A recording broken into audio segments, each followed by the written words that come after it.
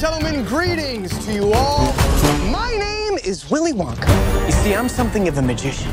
The mysterious, masterful chocolatier returns to the big screen with an origin story this time around. Paul King's directed Wonka, starring Timothée Chalamet as the title character, is a story of his young days before he became the chocolate-obsessed inventor we all know. It is also a different take on the character from his previous appearances, as this version of Willy Wonka takes a step back from being mysterious and cynical to swap those characteristics for being a lovable character who desires to spread joy to the world through his assorted treats. In this this marvelous video, we do a deep dive into how the new Willy Wonka film ended and answer questions like, will it have a sequel? This is Wonka Ending Explained. Before we go into our explanation, we have a very small request. If you like our content, please support us by subscribing to our channel. This is a small click for you, but for us it means a lot. Thank you. Let's begin. The past seven years traveling the world perfecting my craft. The story. After spending seven years on the ocean, a young Willy Wonka makes landfall in Europe with his overcoat, suitcase, and a hat full of dreams. Penniless and desperate after the first day itself, he seeks the kindness of Mrs. Scrubbit and Bleacher, who scam him into signing a contract he cannot read and trap him in their laundromat. There, he meets Noodle, a plucky orphan, and her fellow outcast workers. He decides to form a ragtag team that hustles their way out of the laundromat to sell chocolate at the Gallery Gourmet. It goes fine until Willy has to face the wrath of the chocolate cartel, a trio of villains formed by the three biggest chocolate suppliers to the city, led by Arthur Slugworth, who is in cahoots with the police chief. Willy and his team managed for a while by escaping through manholes in the market, eventually making enough money to buy the shop Willy had always dreamt of owning. Their plans are met by a wedge in them when Slugworth bribes Mrs. Scrubbit to poison Willy's chocolate supply that makes his customers grow facial hair and change their skin color. Willy's shop shop is burnt down and he finally caves into the demands of the chocolate cartel, which are to leave the city and never make chocolate again, in exchange for all his friends' freedom from Mrs. Scrubbit's laundromat. Willy is sent out on a boat bound for the North Pole, which is rigged to blow as soon as it goes out to sea. When Willy suddenly has an epiphany and decides to jump off the boat and swim ashore, Willy realizes that Arthur Slugworth has the same ring with the indentations as the ring he saw Noodle carrying around her neck, making the connection that Noodle Might be related to Slugworth. He returns to the city with a plan to dig up evidence regarding the chocolate cartel's evil deeds and expose them to the police. Their plans are once more set back as they get caught by the cartel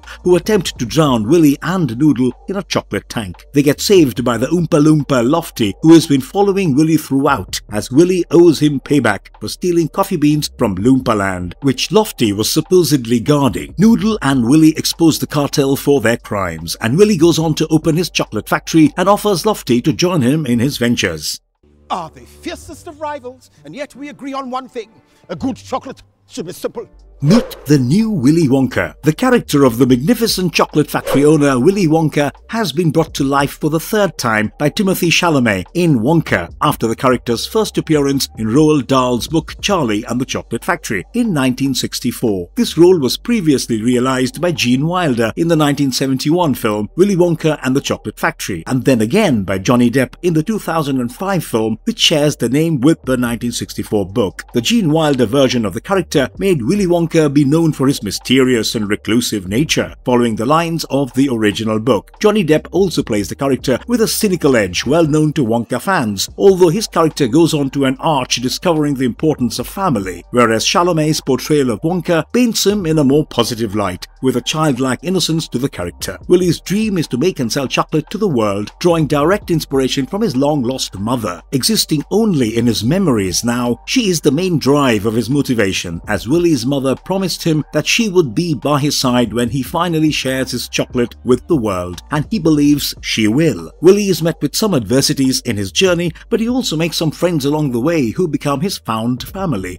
whom he seeks to protect. He promises to change each of their lives by making chocolate and buying their freedom back from enslavement in the laundromat. He also meets an Oompa Loompa who keeps stealing his candy, but Willie's heart of gold turns a foe into a friend who not only inspires Willie to fight back against the chocolate cartel, cartel, but also saves Willy and Noodle from drowning in their chocolate tank. Besides being an innovative inventor, this version of Wonka is also an avid magician, which allows the audience to witness a ton of spectacular visuals that are not short of real magic. All in all, this version of Willy Wonka definitely takes a departure from the original mysterious shades of the character, however, retaining the signature top hat along with the self-standing cane, and of course, the groundbreaking intellect when it comes to making chocolate. Huh? Huh. A double hump. Do you have a pencil and paper? Uh-huh. Noodle. Willy meets an orphan girl at Mrs. Scrubbit's hotel who warns him to read the fine print before signing her contract. But being unable to read the English language at all, Willy signs it anyway and gets stuck working for Mrs. Scrubbit in her laundromat. Later, she helps Willy sneak out of the laundromat so he can sell chocolate outside, against a promise that the earnings will be split between the both of them to work off Mrs. Scrubbit's debt. She teaches Willy to read and quickly becomes his confidant, serving a sidekick in his crusades, even buying the empty shop in the gallery Willie always dreamt of owning. When Willie makes a deal with Slugworth to pay off Mrs. Scrubbit's death owed by all his friends, Slugworth pays a little extra to make sure Noodle stays imprisoned for good. Willie, who suspected Arthur Slugworth might be related to Noodle, finds out that he's actually her father's brother, who left her in the laundry bin as a baby. When Noodle's mother turns to her late husband's brother to aid her with money for treating Noodle's illness, Slugworth gets rid of the baby and lies to the mother that the baby had actually died. Willy discovers that Noodle's mother is still alive and helps them both reunite with each other. Willy and Noodle's friendship is fresh to this version and the story, as she does not appear in any of the other films or the book. Portrayed by Calah Lane, Noodle is cynical in her observation of the world and is often surprised at Willy's innocence. She provides a good balance for Willie's childlike worldview and also proves herself to be the most fierce member of Willie's team on multiple occasions. Well, it's obviously something because you said, huh. Forget it. Very well. Oompa Loompa Doopity Doo. Somebody keeps stealing Willy's supply of chocolate in the middle of the night. Determined to catch this thief, he sets up a contraption that traps a tiny orange-skinned and green-haired little man in a jar. To the great delight of the audience, an Oompa Loompa named Lofty is introduced. Played by Hugh Grant, Lofty has been sent away from Loompaland as their last supply of cocoa beans was stolen under Lofty's supervision by none other than Willy Wonka. He is asked to leave Loompaland and is not to return until the punishment has been paid a thousandfold. According to Loompa law, a crime should be met with a thousand times its punishment, which meant Lofty followed Willy everywhere until he stole enough chocolate from Willy to make up for the punishment. Eventually, Lofty ends up saving Willy from drowning in chocolate as there is one last jar left of his payback. At the end of the film, Willy opens a chocolate factory and offers Lofty a position as the head of the tasting department. Although appearing only briefly in the film, Lofty's introduction was a very welcome one, as the Oompa Loompas are a fan favorite from their previous appearances. Hugh Grant's portrayal of Lofty brings the signature cynicism of the Oompa Loompas along with his wittiness and their extreme pursuit of justice tending to Loompa law. He also moves the plot forward on multiple occasions, including when he convinces Willy to fight back against the chocolate cartel and not accept their deal. His characterization was much closer to the original characters, bringing the sort of extreme philosophy that Oompa Loompas stood by, that justified punishing annoying children. Hugh also brings back the immensely popular and extremely catchy singing and dancing styles of the character, which are a treat to watch on the big screen. What are you doing? I'm making chocolate, of course. How do you like it? Dark, white, nutty, absolutely insane.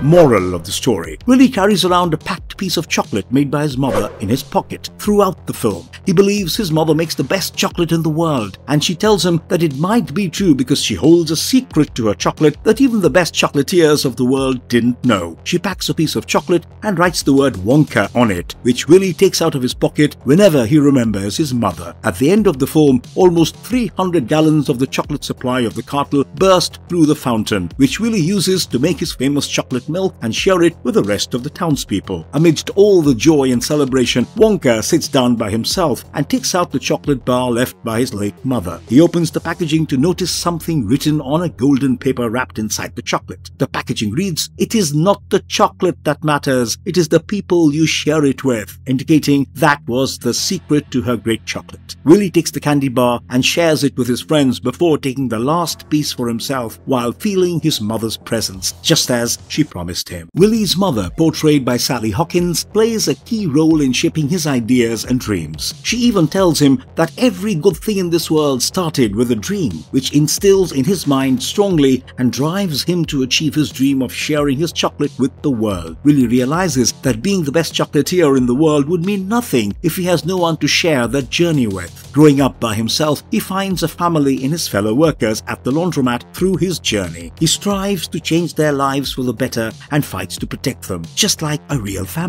Willie sharing his mother's chocolate with all of his friends is him realizing this important message, which he cherishes while enjoying the delicious chocolate a different universe. The events of Wonka take place in a magical setting at an unclear time period. The musical approach of the film and the well-accepted existence of magic in this universe give the character a very light-hearted characteristic. Wonka uses magical ingredients to make his chocolates, which sometimes have rather unrealistic effects on its customers, like levitating them off the ground. The film maintains this bright tone and cheery spirit and does not take any dark undertones until the very end, when the chocolate cartel tries to blow Willy up on a a boat. Noodle gets imprisoned in a tiny cell and Slugworth tries to drown Willy and Noodle in a chocolate tank, but that is as far as the film goes to explore the darker sides of this universe. There is also the role of a corrupt police chief bought out by the chocolate cartel in order to eliminate any competition, brought to life by the immensely talented Keegan Michael Key. Even this character isn't shown as utterly dangerous as he accepts chocolate provided by the chocolate cartel as a bribe for taking action against Wonka and grows into a whimsically large size by the end of the film as a result of consuming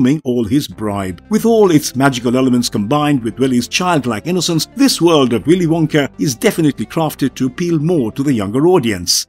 Marvelous verdict. Although it's unclear exactly as to whether this is the Willy Wonka that gives Charlie Bucket a tour of his chocolate factory after he wins a golden ticket, it's definitely in the realm of possibility. That's a good 20 years of age gap between Chalamet's Wonka and Wilder's Wonka, which may suggest that Willy might have become reclusive in nature over the years. Working with Oompa Loompas in his newly established chocolate factory, it's also possible that he developed the same sensibilities as his tiny orange assistants, which make him justify punishing kids with his own brand of justice. It's also possible that we might get to see an entirely different story from an older Wonka portrayed by Chalamet. We would definitely like to see Noodle and her mother's relationship after their reconnection or find out what happened with the rest of Willy's friends. It would definitely be a treat to see more Oompa Loompas in action for any upcoming projects in this series. Director Paul King has displayed an interest in pursuing the idea of a sequel, saying that there is a lot more of Willy Wonka's story left that needs to be told.